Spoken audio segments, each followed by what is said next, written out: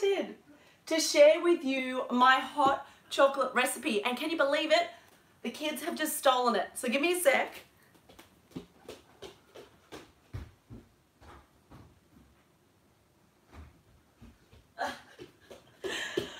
Oh, the joys of life. Here it is. This is what we are making. It is a hot chocolate powder.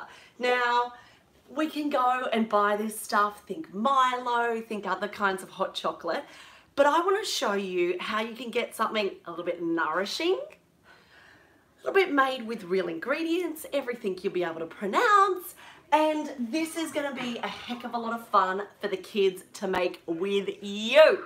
So what are you going to do now? Well, make sure you hit subscribe below because I've got a bunch of easy snack recipes that I want you to know all about. And I will leave here in the description exactly the quantities that you need for this guy, but definitely just play along, um, you know, and give this a go with me. I love making this one because you get to do this part. Let me just pull you down a little bit there so that you can see it well.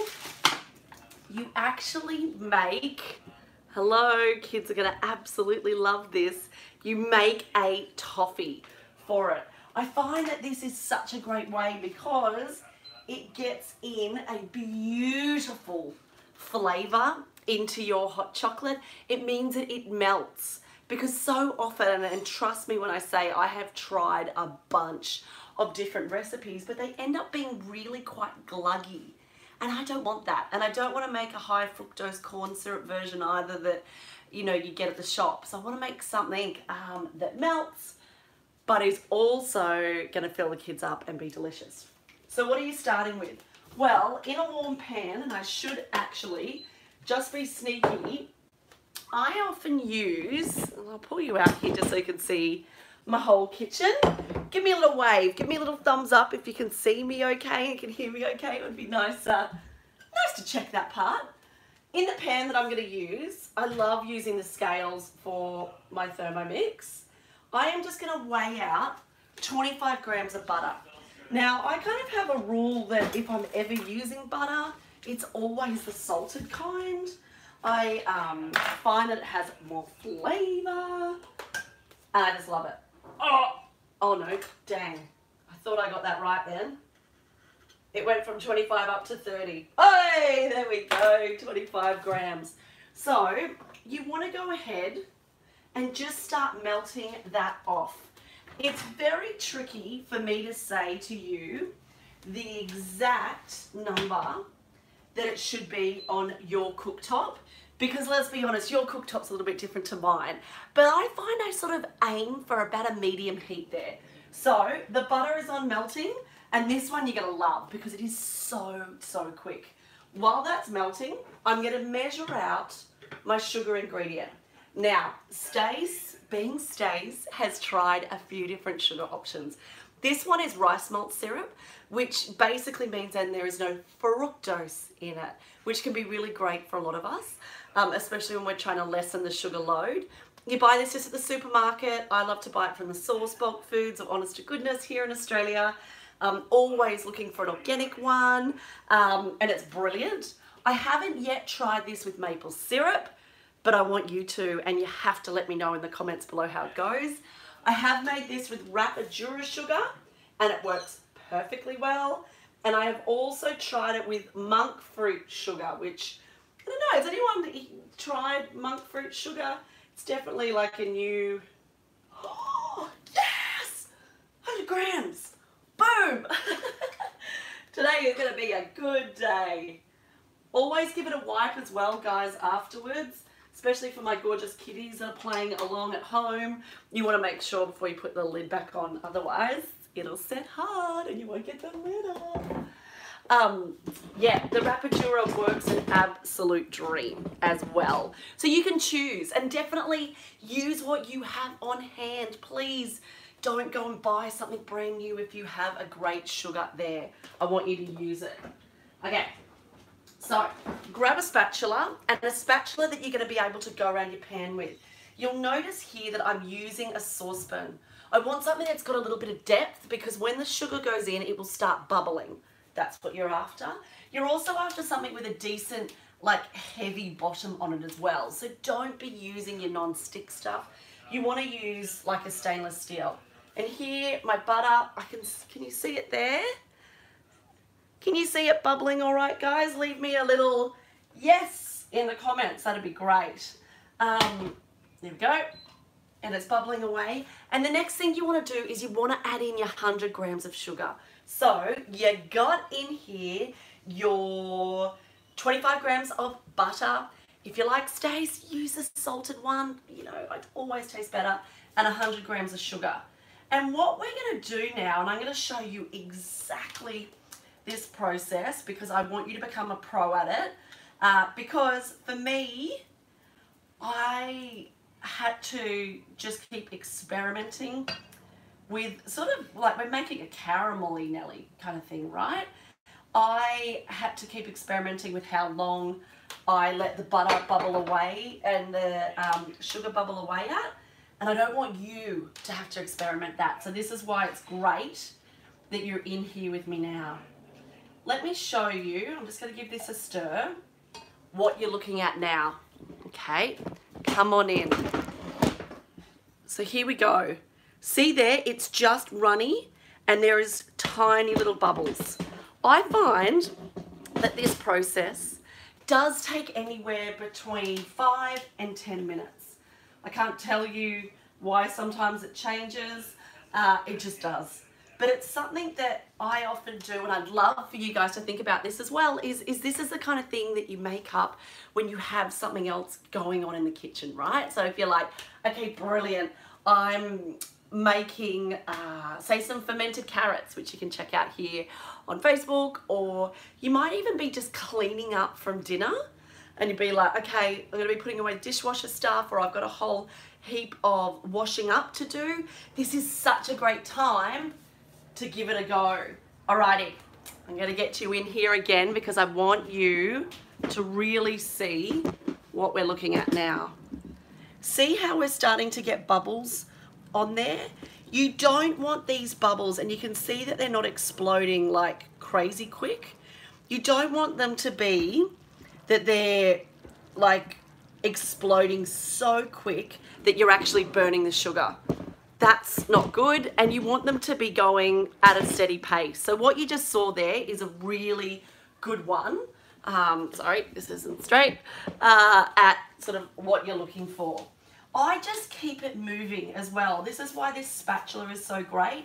When you're going around it, guys, here's a really good one. You can see that at the base, see how there's all the bubbles? Let me know in the comments that you can see that. I just use my silicon spatula, so never plastic, always silicon. I just go around and make sure it's getting off the base. Because when you keep this moving, it means that it's not going to burn. And that's perfect. And it also will help show you when you know that it's ready.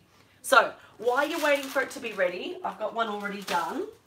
What you want to do, I'm just going to pull this off is grab some parchment paper, non-stick paper, glad bake, whatever the heck you want to call it. Get it here next to your um, cooktop. You want this to be ready. Rye, why, rye, why, is because to cool this down quickly, you want to get it onto something that you can spread it flat with, right? And I find that's the best one. All right, so we're still not overly sticky. And you'll see in a sec what I mean when it starts getting sticky. And that is always my indicator that I'm ready to go and it's done. What would happen if it hasn't cooked for long enough? Then your pickle is going to be is that when you put it on your sheet to cool, it's not going to go hard. It will stay really caramel-like. And my loves, if that happens to you, then sister, you're just having some caramel, right? How delicious would that be? You'd still be able to break it up, stir it through some ice cream. I don't know, maybe you've got an idea. Have you ever made caramel? What else could you use it for? You could use it as like little tiny chopped up chewy, like chewy caramels. This stuff I'm never really worried about because I know exactly what's in it. It's butter and it's rice malt syrup or it's butter and it's real sugar. When you know what's in it, it's, you know, you just don't get as worried. Okay, let me show you exactly how it's looking now. So see here, it's bigger bubbles and it's starting to, when I stir it, see here, it's starting to get very sticky. That's how I know that it's right. I can see too, when I'm doing it off the, the, um, the side of the bowl, that it's very brown in colour. This is what I want. This means that the sugars are cooking. And this is your little guide to be like, yep, I'm nailing it. This is where I want it to get to. Okay. I'm nearly there. This has probably been about five minutes or so. Rightio. All right. You could um, probably do this in a Thermomix. I don't know how. I like to just do it here so that I can monitor it and I can really get into it and then I'm not going to waste any of it being on the beaters. Um, you may be able to do this in your microwave, but again, don't. Just do it this good old way. Whoa! Check this out. Look at the size of the bubbles that are in there. See how stretchy and stringy that is now? We're just about there. I would say another minute and we'll be able to pull it off. You will find too the colouring, dependent on what uh, sugars that you use will be how dark the colour is. Of course, if you've cooked it long enough, it will be darker in colour. And this one I've got here, which I'm going to talk you guys through in a sec, because this is it actually dried. There's a little sneak peek for you. This one I did let go quite a while. It never burnt, but it's been like it's done it quite a while. What that just means is that it's going to be stronger in like a toffee flavour, which how delicious is that hot chocolate going to be? Okay, there we go. I can see that it's all pulling away. It's very brown on the bottom. So what I'm going to do now is I'm going to grab my parchment paper and I'm going to try and do it in a big sort of line of it. Why? Because rather than doing a blob, it means that it will cool quicker. And let's be honest, that's exactly where we want to get it to, right? We want it to cool quicker. I'm just using the side of my spatula and the back of it just to go around and grab everything out to make sure that it's not on the sides and just, there we go, to get that on the paper. Fill that up with some cold water and there it is. Check that out. So that is the start, that's the sugar toffee that is going to be the biggest hit for your uh, homemade hot chocolate. Radio.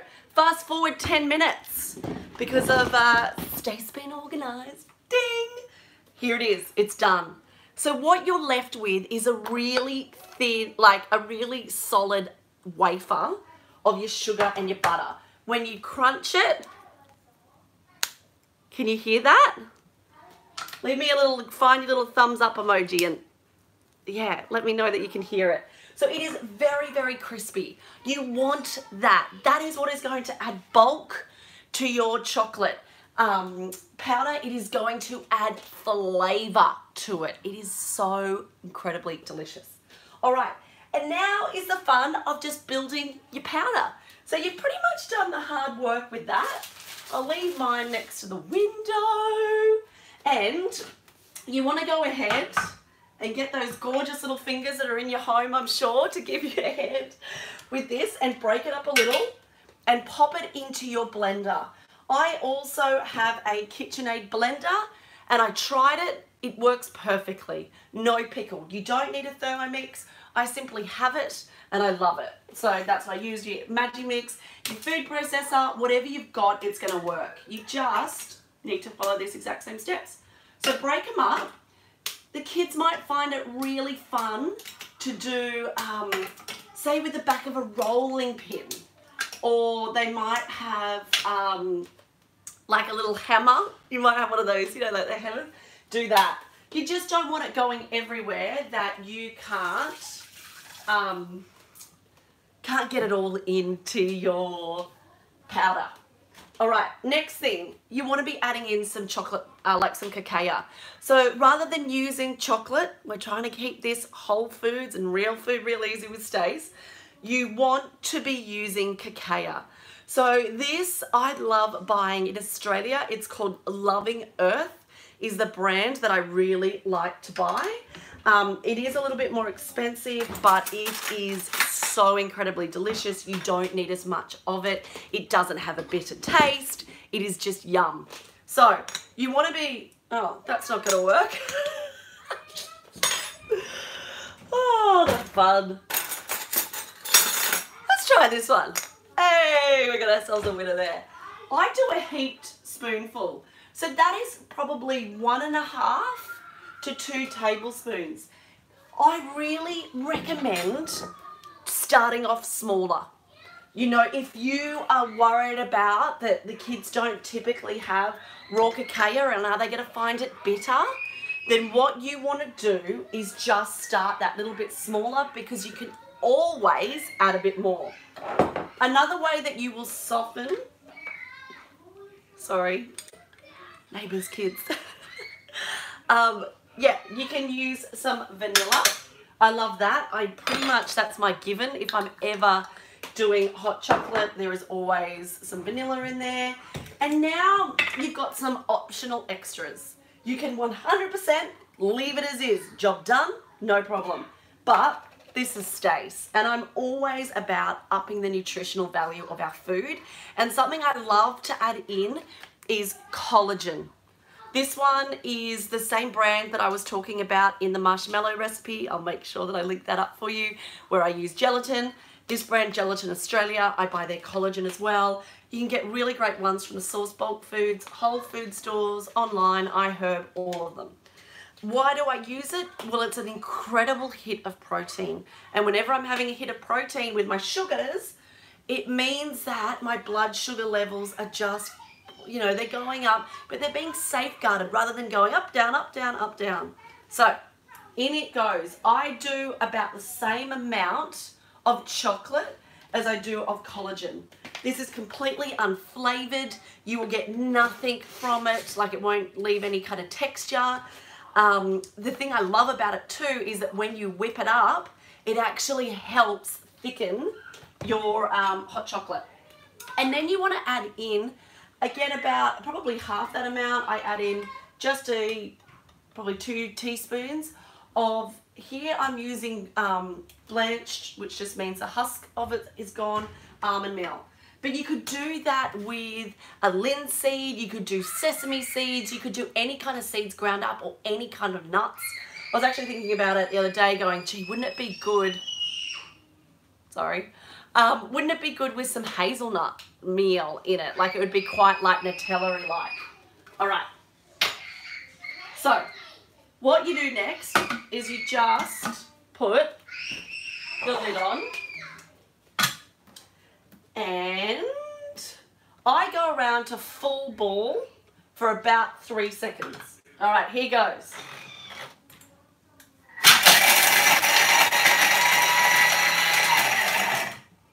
And you can check it. You might actually choose, and this is what's going to be the fun thing of cooking this with the kids, is they might like to keep it actually quite chunky. But that even says on my Thermomix two seconds. And look at how powder-like that is. You know, it happens really quick. And of course, that's dependent on your blender of how quick it goes. But if you want bigger shards of that toffee, then just blend it for less. And now you get the fun task of giving it a taste and making sure that you're happy with it. Mmm. I love when you eat it. Seriously, like, you're gonna absolutely love this. Because I haven't blended it too much, it, I'm getting like that snap crackle each time when I'm like munching on it and it's crunching in, um, in my mouth. It is just so incredibly delicious. For me, that was absolutely enough of the raw cacao, but you see how you go.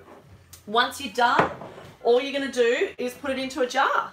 And this is what I have here. So, to make up your hot chocolate, grab your Nespresso machine. I often do this, or another way that you could do it is putting it in back into your saucepan. But I want to show you this technique. Get in your milk, just regular old cow's milk. If you're using a dairy uh, non-dairy milk, and you want it to be incredibly fluffy, I find the best dairy-free alternative that will give you a really beautiful like bubble is um, macadamia milk. And then I'm putting in a generous spoonful. Like, look at that. That's quite big there, right? Like, I mean business. We're having hot chocolate. Just like that. And, oh, I didn't plug it in. And turn it on. If you're going to do this in your saucepan, just heat it with your milk and give it a whisk. You will find straight away, and I'm going to pour this in so that you can see it, it melts. It is so thin and delicious because when you're doing the, the nuts and the collagen, it is powder-like, right? It's absolutely perfect. Um, don't, if you're going to be using whole nuts in order to whiz that down, whiz it first before you put the toffee in because you will want it to be really, really thin. Um, and then we're going to get our bits together. So just a sec. I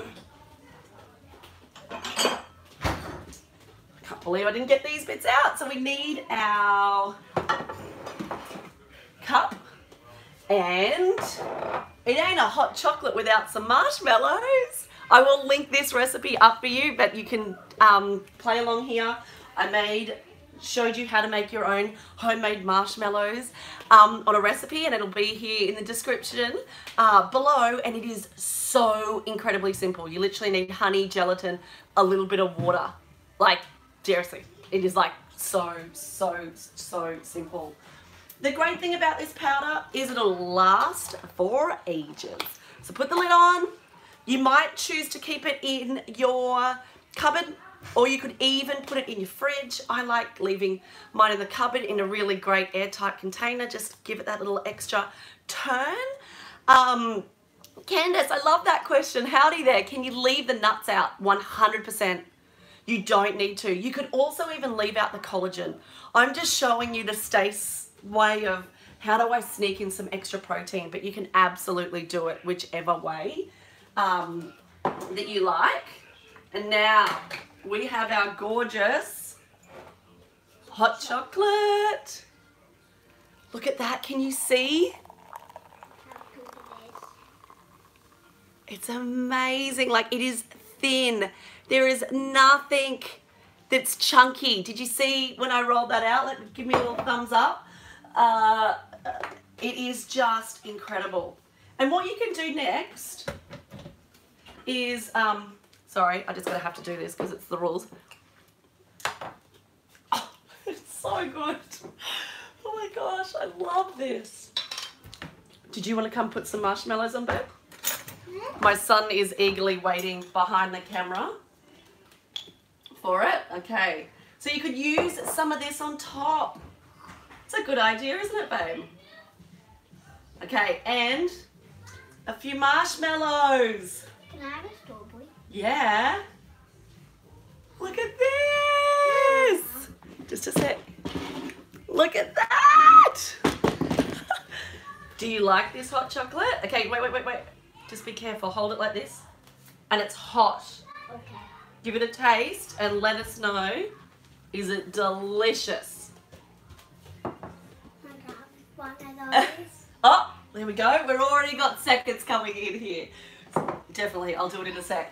So give this a go. It is so delicious. What else could you use it on? And I was having to think about that before. But, oh good. You like it? Oh, more marshmallows. You're definitely my kid. Um, you could sprinkle this on ice cream. Think of this like a Milo. Think of it that way, or a chocolate kind of powder. This would be delicious sprinkled on some pancakes. How good would that be with some butter and some pancakes there? Mummy, this stuff is going to last you. Talking of pancakes, I've got a good idea for pancakes. We can put chocolate chips in them. You could put chocolate chips in them. Um, but yeah, definitely, like you could use this for a whole host of things. You could also even make this into a smoothie. So say you're wanting to get in some of those extra things. And sneaky last bit before I leave you loves to make this and you gotta let me know in the comments how it goes. And come across to Instagram, I'm Stacey Clare there. Um, and I'm also the same on Facebook and make sure you follow along and tag me in when you give this one a go. But if you're a little bit like me and you've got kids that sometimes see a naturopath and they have some medicines that they need to include, this is such a great spot. You mightn't want to put it in here. I mean, that's something you could even chat with your naturopath about. But for me, if I had something that was powder like and it wasn't having an issue with being stable with, with heat, so say it was some magnesium or some zinc or some vitamin C powder that they wanted me to include, I could make up this hot chocolate with a spoonful of that in and it would be absolutely delicious. It would be such a perfect spot to hide it. Alrighty, make sure you subscribe here and if you love this recipe, hit share. Share it with um with a girlfriend because what a gift as well. Could you imagine making some of these up with the kids and dropping them off at your mate's doorsteps to get through the next little bit of, you know, homeschooling? Be so lovely. All right, Stace's hot chocolate powder. Enjoy it. Bye, guys.